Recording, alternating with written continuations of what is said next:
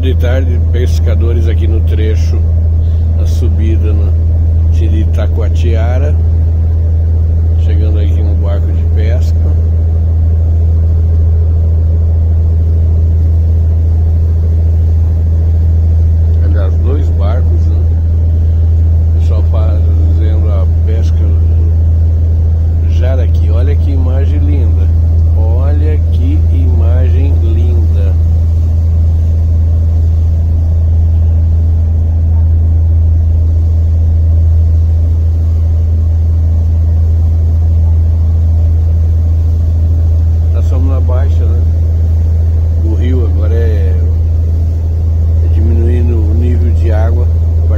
fizemos com essa a época das chuvas novamente.